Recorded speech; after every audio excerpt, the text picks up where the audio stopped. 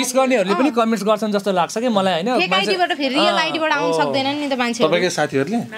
मेरो साथीहरूले किन गर्नु? मेरो साथीहरूले गर्यो भने दुश्मन साथीहरू नि हुन्छ नि त सँगै काम गर्ने। त्यस्तो होला नि कति। अब थाहा भएन त्यो। भने चाहिँ तर बिहे गर्ने नगर्ने भन्ने कुरा त्यो समयको खेल हो भाग्यको खेल हो हामीले चाहेर मात्रै पनि हुँदैन। हेरौँ त्यो त भविष्य। होइन हाम्रो मम्मी बोल्न चाहनुहुन्न किनभने हाम्रो मम्मी बोल्यो भने कुरा म हुँ तिम्रो कृष्ण काले तिमी मेरो राधा। म हुँ तिम्रो कृष्ण काले तिमी मेरो राधा। तिमी बिना कृष्ण काले हुन्छ सधैँ आधा लाउला कम हामीलाई नै सम्झिने छन् सुख नि दुःखमा। हामीलाई नै सम्झिने छन् सुख नि दुःखमा।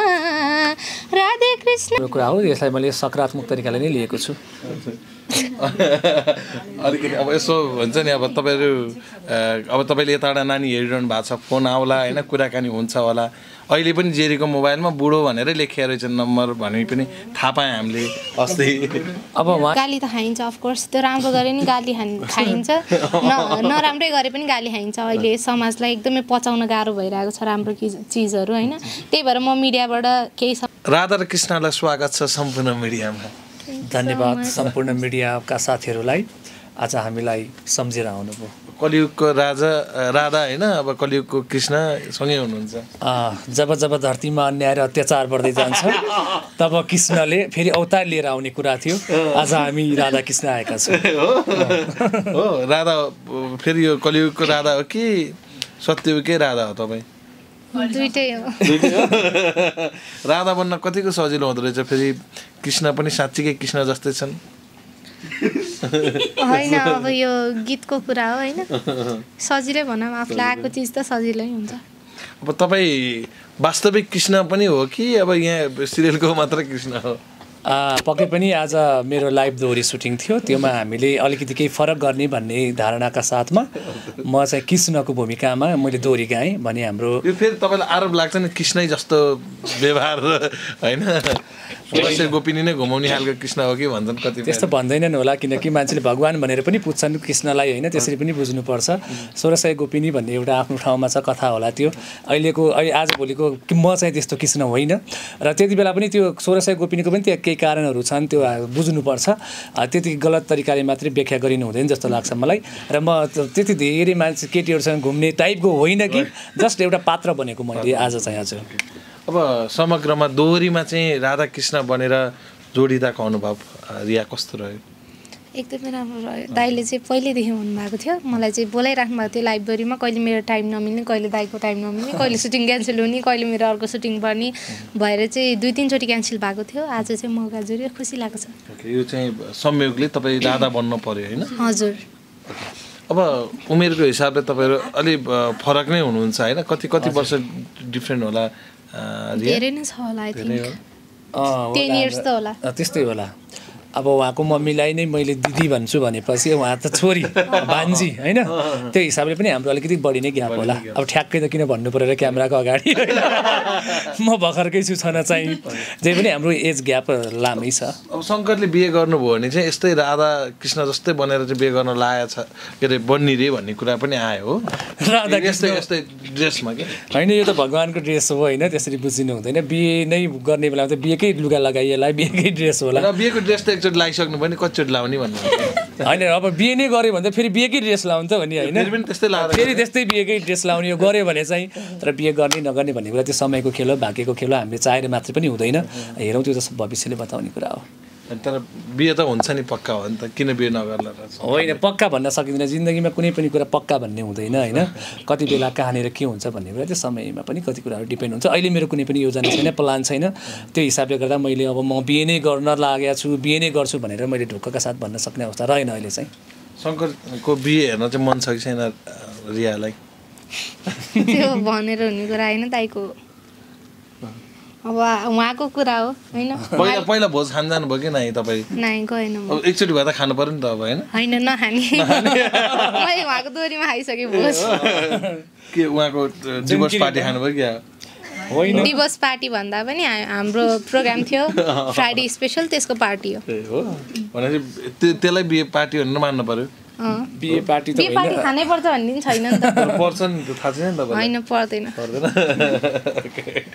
अब आजको दोहोरीको कुनै हुन्छ नि टुक्का त्यही त्यहीँ भित्रको परेन यसो मिलाएर दिउँ न दुईजना राधाकृष्ण हुँदैखेरिको अनुभवसँग हुन्छ ए कहाँ स्कुल कहाँबाट गएको थियौँ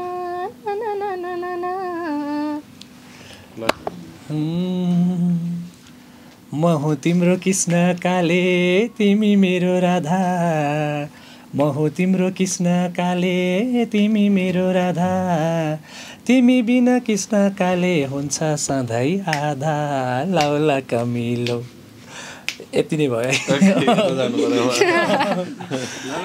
हामीलाई नै सम्झिने छन् सुख नि दुःखमा। हामीलाई नै सम्झिने छन् सुख नि दुःखमा।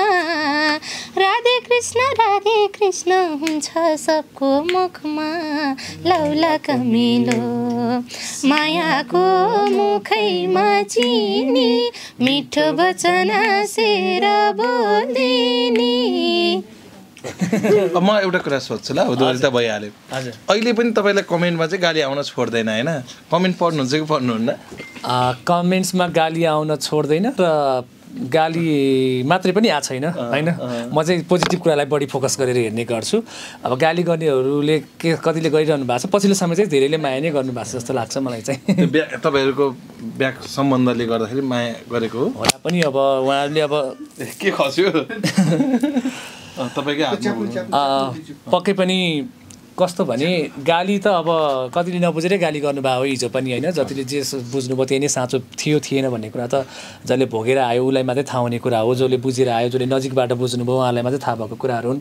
र गाली गर्नेहरूको पछाडिमा कहिले पनि लागिनँ हिजो पनि लागेन आज पनि लाग्दैन र भोलि पनि लाग्दैन। किनकि मान्छेहरू खुट्टा तान्नको लागि मान्छेलाई तल झार्नको लागि यहाँ धेरै लागि पर्छन् तसर्थ मैले ती कुराहरूलाई सधैँ इग्नोर गर्दै आइरहेको छु र म गाली गर्नेतिर कहिले पनि लाग्दिनँ। जसले मलाई पोजिटिभ कमेन्ट्स गर्नुहुन्छ जसले मलाई हौसला दिनुहुन्छ म सधैँ उहाँहरूको कुराहरूलाई शिरमा राखेर अगाडि बढिरहेको छु। सयमा उना सय पर्सेन्टै गाली आउँदाखेरिको ट्रेनहरू थियो नि त अहिले त होला त्यति बेला, साठी पैँसठी पर्सेन्ट त अहिले पनि तपाईँलाई गाली नै आउँछ। त्यति बेला जतिले गाली गर्नुभयो त्यति बेला पनि मैले त्यति नाइन्टी नाइन पर्सेन्ट नै गाली आउँदाखेरि त मैले पचाएँ भने यो साठी सत्तरी भनेको त मेरो लागि नर्मल भइसक्यो। This is normal for me English अब र मलाई लाग्छ अब गाली गर्नु हुँदैन किनकि बुझिसक्नु भएको छ धेरैले। शङ्करले आफूले आफूले एकदम महान सोध्छ भन्छ नि कतिपयले तपाईँले बोलीमा होइन तपाईँको त्यो हुन्छ नि बोलीमा म चाहिँ यस्तो छु हिरो छु ह्यान्डसम छु भनेर भन्नुहुन्छ आफैले ए आफैले। होइन यो चाहिँ के हो भने यो चाहिँ के हो भने मैले एउटा रमाइलोको लागि बोल्ने हो होइन र दोहोरी गाउने बेला पनि मैले त्यसरी आफ्नो बयान आफै गरेर आएको हुन्छु किनकि त्यो भनेको सुन्ने मान्छेलाई रमाइलो होस् भन्ने तरिकाले भनेको हुन्छु मैले चाहिँ होइन। अब बुझ्नेले कसरी बुझ्नुहुन्छ भनेको ए कसरी हेर आफ्नो व्याख्या गरेको पनि कति हँसाइ गीत गाएको भनेर पनि बुझ्नुहुन्छ कतिले। कतिले चाहिँ होइन ए ठुलो भएर गीत गायो भनेर पनि बुझ्नुहुन्छ त्यो त अब सुन्ने मान्छेले कसरी लिनुहुन्छ उहाँहरूमा अर्को कुरा के पनि हो भने आफूले आफैलाई राम्रो भन्न सक्यो भने अर्कोले राम्रो अनि अर्को कुरा के हो भने आफूले आफूलाई गलत सोच्यो आफूले आफूलाई नराम्रो सोच्यो भने आफू झन् डोमिनेट भइन्छ आफू झन् कमजोर भइन्छ नि त। त्यही भएर हामी जो जस्तो जहाँ छौँ आफूले जहिले पनि आफूलाई पोजिटिभ बनाउनुपर्छ र हामी सकारात्मक सोचका साथ अगाडि बढ्नुपर्छ। जहिले पनि आफूलाई आफू जस्तो अवस्थामा भए पनि म राम्रो छु म राम्रो छु म गुड छु भनेर सोच्नुपर्छ। तपाईँसँग एक समय चाहिँ कुनै गायिकाले पनि गाउन मान्दैन थियो किनभने गाली खाइन्छ भनेर हो। होइन मैले जसलाई अफर गरेँ उहाँले त त्यस्तो भन्नुभएको छैन। म बरु मैले आफै कामहरूलाई रोकेर बसेको थिएँ केही समय। तर मैले जति बेला मैले काम सुरु गरेर लगाउँ भनेपछि सबैले गीत गाउँदै आइरहनु भएको छ मसँग। रियाजीलाई चाहिँ त्यस्तो गाली खाइन्छ भन्ने डर चाहिँ भएको छैन यो अन्तर्वार्ताकै दौरानमा उहाँसँग गाइएको दोहोरीको दौरानमा। यस्तो अब गाली त खाइन्छ अफकोर्स त्यो राम्रो गरे नि गाली खान खाइन्छ। न नराम्रै गरे पनि गाली खाइन्छ। अहिले समाजलाई एकदमै पचाउन गाह्रो भइरहेको छ राम्रो चिज चिजहरू होइन? त्यही भएर म मिडियाबाट केही समय एकदमै टाढा पनि रहेको छु अहिले।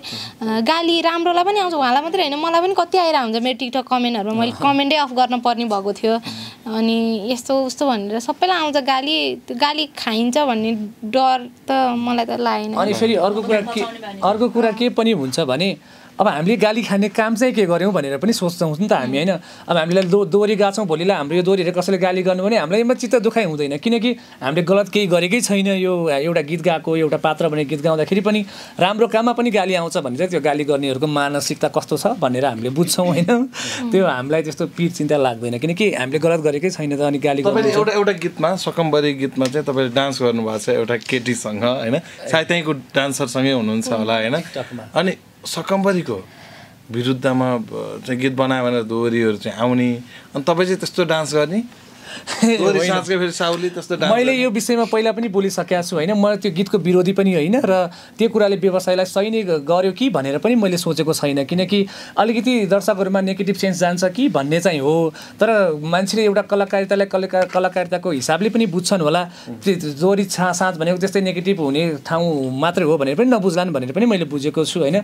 र जहाँसम्म त्यो नृत्य गरेको कुरा छ त्योमा चाहिँ अब हाम्रो दोहोरीमा त्यो गीतमा अफर आयो। अफर आइसकेपछि पाहुनाहरूले रोजिसकेपछि हामी प्रस्तुत गर्ने गर्छौँ होइन? प्रस्तुत गर्दाखेरि अब त्यो बिचमा अब त्यो गीतमा त्यस्तै त्यस्तै एक्टिङहरू छ नि त। त्यो गर्ने क्रममा म त्यहाँ बसिरहेको बेलामा हाम्रो पूर्णिमा गुरुङ बहिनी आउनुभयो मसँग नाच्छ मैले त्यसको एक्सप्रेसन दिएको मात्रै हो त्यो अरू केही पनि होइन तै पनि अब यता रियालाई पनि तपाईँको कहिलेकाहीँ दरबारकै टिकटकमा चाहिँ तपाईँले नाचेको दोहोरी के अरे डान्सहरू आउँछ होइन?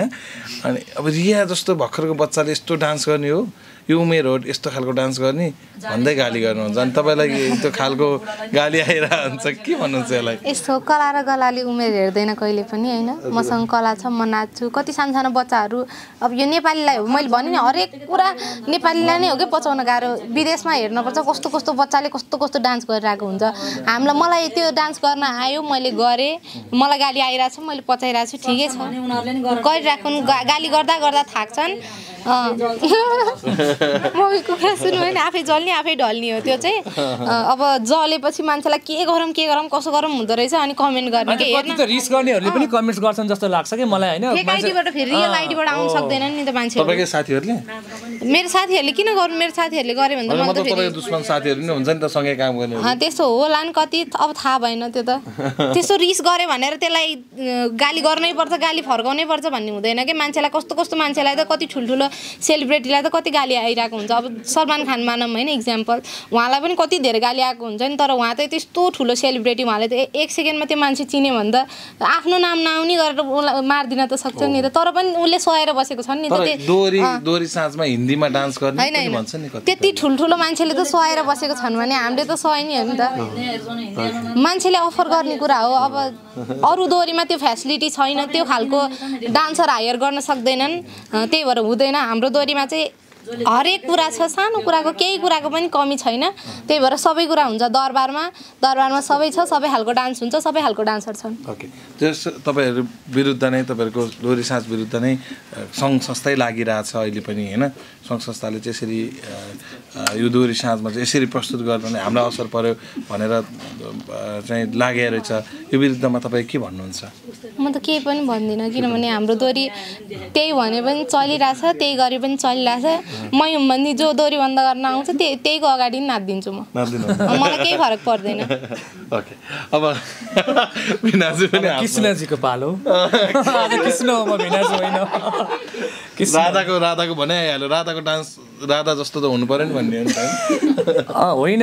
कला हो होइन। अब के भन्छ अहिले हामी रा अहिले हामी राधाकृष्ण बन्यौँ नि त। अहिले हामी राधाकृष्ण बन्यौँ कुनै बेला हामी दौरा सुरुवार गुन्ने चोलीमा पनि तपाईँहरूले देख्न सक्नुहुन्छ होइन? कति बेला कस्तो सिचुएसन हुन्छ होइन? कस्तो सिचुएसन हुन्छ र कस्तो डिमान्ड आउँछ एउटा कलाकारले त्यसरी प्रस्तुत हुनुपर्छ। त्यसो भन्दैमा आफ्नो कला संस्कृतिलाई ध्वस्तै हुने गरी त प्रस्तुत हुनु हुँदैन त्यसरी हामी गर्दा पनि गर्दैनौँ। हामीलाई पनि त्यो कुराको ज्ञान हुन्छ हामीलाई पनि त्यो कुराको डर हुन्छ। तर कतिसम्म गर्न मिल्छ त्यतिसम्म चाहिँ एउटा कलाकारले गर्नुपर्छ भन्ने नै लाग्छ मलाई चाहिँ। म एकचोटि रिया दिदीलाई नै बोलाउँछु यो विषयमा। सरी रति दिदीलाई रिया दिदी भने। रति दिदी एक मिनट मात्र थोरै बोलिदिनु होला। ठिक छ र उहाँ आउँदैन भन्नुभयो। र अब ओके। यहाँ कतिपय माग आयो यहाँ मिडियाहरूको माग आयो। होइन हाम्रो मम्मी बोल्न चाहनुहुन्न किनभने हाम्रो मम्मी बोल्यो भने कुरा अलिकति बढ्छ होइन? हाम्रो मम्मीलाई यस्तो कुराहरूमा रिस पनि उठ्छ अलिक बेसी नै रिस उठ्छ। एकदमै झन् एक त आफ्नो एकलौती बच्चालाई त्यस्तो भनेको सहन पनि सक्नुहुन्न। त्यही भएर मैले कमेन्टहरू नि अफ गरेको हुन्छु त्यही भएर मम्मी बोल्न पनि चाहनुहुन्न बोल्दा पनि बोल्नुहुन्न। यो विषयमा जस उहाँको नो कमेन्ट साथ पनि छोड्नुहुन्न फेरि यहीँ हुनुहुन्छ। कसैले रिया एक्लै हिँड्न थालेछ भन्नुभयो भने मम्मी यहीँ छेउमा हुनुहुन्छ है। मम्मीको आवाजले सुन्नुभयो होला। मेरो मम्मी कति स्ट्रिक हुनुहुन्छ कति कडा हुनुहुन्छ भन्ने कुरा। भनेको यहाँ जस्तो अरू व्यक्तिको रोकटोक अरू व्यक्तिको गाली किन आफ्नो परिवारले नै यो चिजलाई स्वीकारेको छ भने भन्ने तपाईँको धारणा हो। मेरो परिवारमा भएको मेरो मम्मी मात्रै हो। मेरो मम्मीले हरेक कुरामा सपोर्ट गर्नुहुन्छ म हरेक कुरामा अगाडि बढ्छु। ओके। अहिले तत्कालीन अवस्थामा तपाईँहरूको जुन बाबा आउने कुरा थियो के भयो? होइन त्यस्तो बाबा आउने कुरा चाहिँ भएको होइन बाबासँग कन्ट्याक्ट भएको मैले नागरिकता बनाएर ल्याएँ। अलिअलि फोन कन्ट्याक्ट हुन्छ त्यति हो। आउने बेला भएको छैन अहिले भएपछि म भन्छु। आउने चाहिँ कुरा छ। आउने चाहिँ कुरा छ तर अहिले छुट्टी हुँदैन होला। ओके। अब शङ्करजी अब अहिले चाहिँ जेरी मजाले विदेशमा होइन कार्यक्रमहरू गरिरहनु भएको छ। युकेबाट बेसरी कार्यक्रमहरू पाइरहनु भएको छ। त्यो तपाईँको लागि पनि सुखद होला यो उहाँको कार्यक्रम पाइरहँदाखेरि होइन? के छ? होइन एउटा कलाकारले कार्यक्रम पाउनु देश विदेशमा घुम्न पाउनु त राम्रो कुरा हो। यसलाई मैले सकारात्मक तरिकाले नै लिएको छु। अलिकति अब यसो हुन्छ नि अब तपाईँहरू अब तपाईँले यताबाट नानी हेरिरहनु भएको छ फोन आउला होइन? कुराकानी हुन्छ होला। अहिले पनि जेरीको मोबाइलमा बुढो भनेरै लेखिया रहेछ नम्बर भने पनि थाहा पाएँ हामीले। अस्ति। अब उहाँले बिर्सिन सक्नु हुँदैन होला त्यही भएर लेख्नु भयो होला। मैले उहाँको मोबाइल तपाईँले चाहिँ हटाइसक्नु भयो बुढी भनेर हटाउनु भयो? मैले त नामबाटै सेभ गरेको थिएँ अहिले पनि नामबाटै सेभ छ पहिलादेखि। भने पहिले पनि जेरी नै थियो तपाईँको नाम। त्यही नै थियो। होइन जे हो त्यो बोल्नुपर्छ होइन? गफ लाएर बोलेर हुँदैन नि त। त्यो चाहिँ हटाउनु भएको छैन तपाईँले चाहिँ। नम्बर त हटाएको छैन। फेसबुकमा त ब्लग हुनुहुन्छ। हजुर। फेसबुकमा त ब्लग फेसबुकमा ब्लग छ वाट्सएपमा कुरा हुन्छ। त्यसपछि नम्बरमा कुरा हुन्छ। नखोल्ने फेसबुकमा अब? हेरौँ अब त्यो एकपालि ब्लक त गरिसकेँ मैले अब खुल्न पनि सक्छ त्यो खुल्न पनि सक्छ हेरौँ। अहिलेसम्म ब्लग भएका मान्छेहरू खोल्नु भएको छैन नि तपाईँले? कहिले कसो एउटा सिचुएसनमा हुँदा ब्लक गरिन्छ र त्यो कुराहरू मिलिसकेपछि पछि खोलेका उदाहरणहरू पनि छन् मेरा होइन। अब हेरौँ भन्न सकिँदैन। अहिले मिलेको भएर खोल्न सकिने कुरा आयो। अब कन्डिसन अनुसार। के हुन्छ? तर तपाईँहरूलाई यत्रो नाइन्टी नाइन पर्सेन्ट दर्शकहरूले मिल्नु भनिरहँदाखेरि होइन अहिले फेरि पनि कस्ता बलिउडका हलिउडका कलाकारहरू पनि मिलेको रेकर्ड रहेछ हामीले पनि हेऱ्यौँ होइन।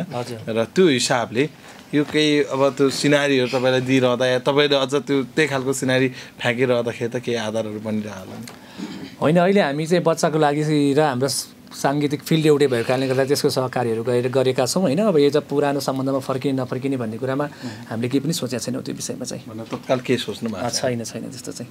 तर बाहिर त तपाईँहरूको टोटल्ली नाटक हो भन्न थालिहाल्यो होइन? पहिला मिले छुट्या जस्तो गरे अहिले मिले जस्तो गरे यस्तो नाटक गर्नलाई होइन? भाइरल हुनलाई गरिरहेको रहेछन् भनिरहेछन्। होइन अब बाहिरकोले कसरी बुझ्नु भएको छ त्यो उहाँहरूको बुझाइको कुरा हो होइन? अब हामीले चाहिँ एउटा बच्चा भएको हिसाबले गर्दाखेरि बच्चाको लागि अब डिभोर्स आमा बाउको भए तापनि बच्चाको लागि आमा बाउ चाहिँ बोल्नुपर्छ। बच्चाको लागि केही सोच्नुपर्छ सरसल्लाह त गर्नुपर्ने हुन्छ नि होइन? र फिल्ड एउटै भएको कारणले गर्दाखेरि कुराकानीहरू कामहरू गर्न सकिन्छ भनेर हामीले डिभोर्सभन्दा अगाडि पनि भनेको। तपाईँको अहिलेको नयाँ प्रेमिकाको विषयमा पनि जेर्दिलाई सबै थाहा छ अरे हो। मेरो नभएको प्रेमिकाको कसै थाहा हुन्छ नचाहिने कुरा। त्यही भन्ने प्रेमिकै छैन मेरो। अस्ति नै अब अस्ट्रेलिया भनेर आइरहेको थिएँ मिडियातिर छ्याप छ्याप थिएँ म अस्ट्रेलिया पनि गएर आइसकेँ होइन। गएर आए आए त होला अब त्यही त छ मिडियातिर होइन। अनि त्यस्तो त्यस्तो भन्नुहुन्छ त्यो सबै फेक हो केही पनि हजुर। तर काठमाडौँमा त छन् रे पक्का। हजुर। काठमाडौँमा त हुनुहुन्छ अब अरेका पछाडि नलागौँ यदि भएछ कोही भने म फेरि मिडियामै ल्याएर सु- सुरुमै तपाईँलाई फोन गरौँला। मेरो प्रेमिका हुनुभयो आउनुहोस् इन्टरभ्यू लिन अँ, फेरि त्यति बेला पनि भाइरलै होला होइन? टेन्सन नगर्नु अहिले चाहिँ कोही छैन। कोही छैन ओके हुन्छ अब रिया अन्तिममा जाँदा जाँदा के भन्नुहुन्छ? गाली गर्ने माया गर्ने दुवैलाई सबैजनालाई धेरै धेरै धन्यवाद।